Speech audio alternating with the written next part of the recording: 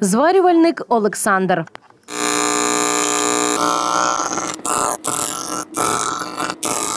По цілій області варив газопроводи, сантехніку, почарки, таке. Ну, Староста села передзвонив, що є повестка на сільській раді. Пішов, забрав повестку, через три дні вділив форму. Електрик Микола. Я люблю крутити дротики. Мабуть, тому і пішов електриком. Ну, спеціальностей було багато на той час. Можна було вибрати там кранівника, сварщика. Я собі вибрав професію електроелектрика. Основна моя посада є електромонтер по обслуговуванню електродвигунів. Спочатку працював як електромонтер по заміні електролічильників, О, це енергозбут. А потім перевівся в лінійну бригаду по ремонту ЛЕП, тобто ліній електропередач. Виїзди. Люди. Ми не сидимо в кабінетах, ми, ми ж людьми. Ми працюємо між людьми. Фермер Василь.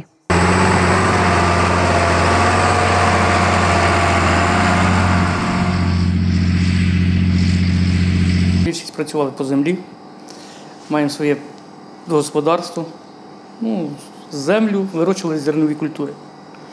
Ну, трошки годували свину породу. Ну, ділилися, як е, повномасштабна війна пішла, ділилися з хлопцями. Приїжджали до мене волонтери, різав свині, давав. Міняли е, м'ясо там, на м'ясокомбінатах, на, на ковбаси, відправляли хлопцям з села.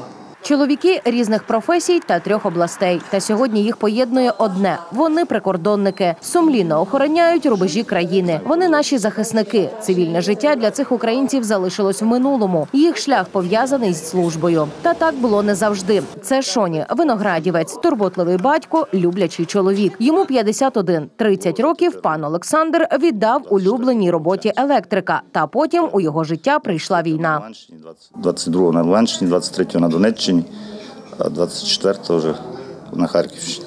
Мінус 20 було. На Новий рік особливо дуже весело було.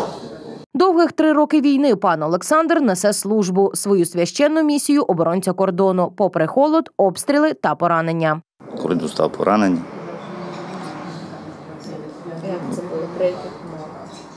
ну, заступив на службу, завели нас ночі у два часа. Показали об'єкт, сектор охороняти. П'ять минут посиділи і прильот прямо в хату. Ну страшно, але страх теж ся поборює, переборює. Повезло, що живий остав. А це пан Микола у цивільному житті дбав про те, аби у наших домівках було світло.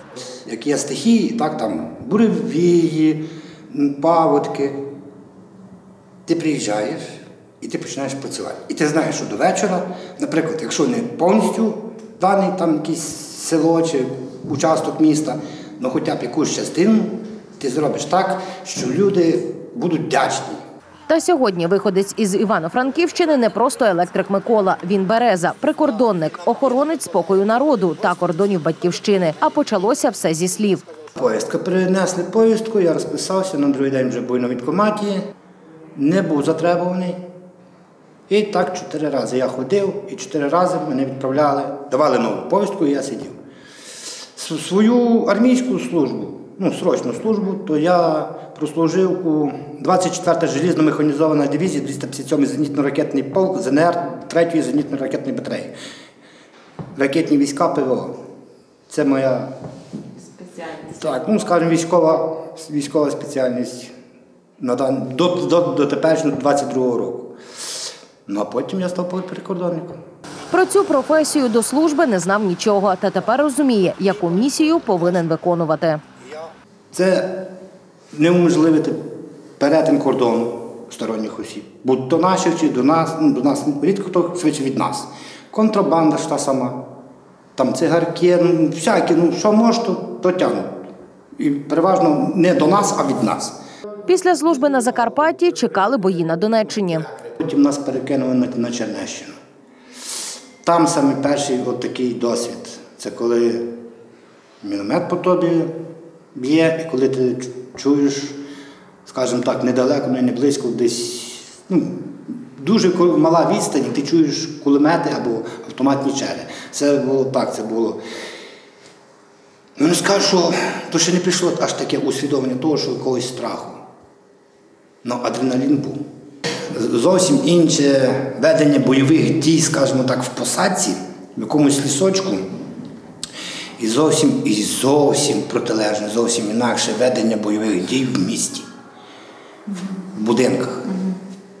Будь то чи житловий, будь частний дім, чи це будь це панельний дім, тепліс. Тебе більший простір для маневрів. Ти можеш перебігти за десятки метрів вліво-вправо, зміститись.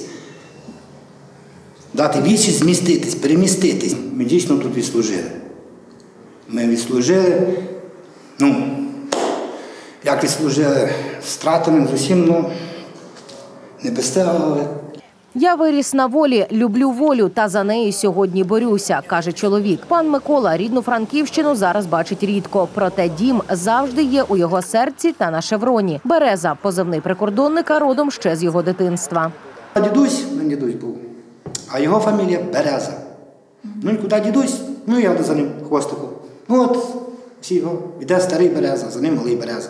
І ось так. Береза, Береза, Береза. Ну, ще з дитинства таке Так, ваше. так, ще з самого дитинства так це взялося. Малий Береза, потім вже дідулі не стало, просто Береза. Після перемоги каже, чоловік буде відпочивати у горах, милуватися красою рідної землі та знову буде приборкувати вже знайомі вершини лінії електропередач, бо відновлювати енергетику треба. А це найкраще, що вміє, зізнається прикордонник. Можу піти ще на одну спеціальність в мене є. Я стропальник. Стропальник це що? Стропальник це така людина, яка стропить грузи. У мене є допуск, допуск до всіх видів строп- стропальника. Тобто я можу робити як на крані, такому, що на автомобілі, на козловому, на баштовому. Можу бути на будинках. Змінив трактор на військову автівку і пан Василь. Спочатку допомагав бійцям, а потім і сам став захисником. Не сподівався, що колись такі роки прийдеться таке робити.